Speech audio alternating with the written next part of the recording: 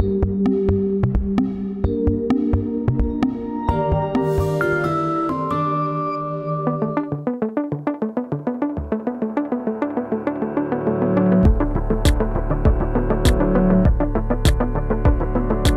Mein Name ist Raphael Eisenberg. Ich bin Marketingverantwortlicher und Projektleiter für die Digitalisierung und seit zwei Jahren bei Pracht tätig. Wir sind ein deutscher Qualitätshersteller für Industriebeleuchtung. Das heißt, die Leuchten hängen da, wo es besonders raue Umgebungen sind und richtig viel aushalten müssen. Wichtig dafür ist immer zu gucken, dass wir optimieren können, dass wir die Prozesse vereinfachen können. Und das war mit SolidWorks möglich.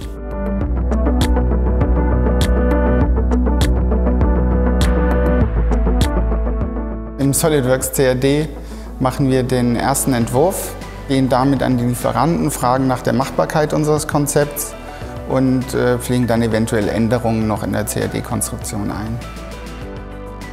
Wenn jetzt eine Baugruppe eines Produkts fertig zusammengestellt wurde, dann ist natürlich gerade bei der LED-Technik die Frage, wie ist die thermische Situation. Und deswegen machen wir dann im Flow Simulation eine Temperatursimulation der Leuchte. Wir können dann auch die exakten Umweltbedingungen einstellen, die äh, entsprechend der Kundenanforderungen an so ein Produkt dann entstehen. Es ist vor allem entlastend insofern, dass wir weniger Aufwand für die Messungen haben, dadurch, dass wir es simulieren können, also schon im Voraus auch planen, ähm, für welche Lichttechnik die Leuchte geeignet wäre.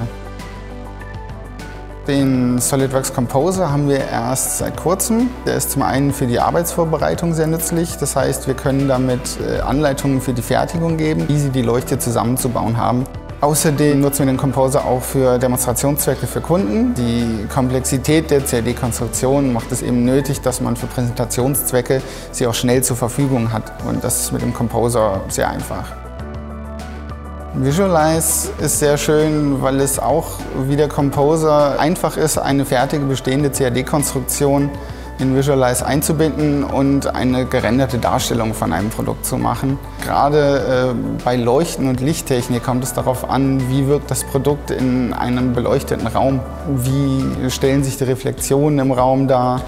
Dann haben wir überlegt, wie wir es fürs Marketing auch benutzen können. Früher mussten bei den Montageanleitungen immer Fotos gemacht werden, da waren die Hände zu sehen, es sah nicht so ganz professionell aus. Mittlerweile können wir durch Visualize ruckzuck ein schönes Bild rausrechnen, was Fotografie ähnlich ist.